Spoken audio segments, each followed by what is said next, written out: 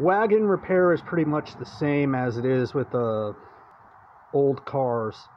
You see right here they have the clamp slide down over here over the hub and then you have six bolts. And then on the back they have bolts. And then they have the bearing. Pretty much hasn't changed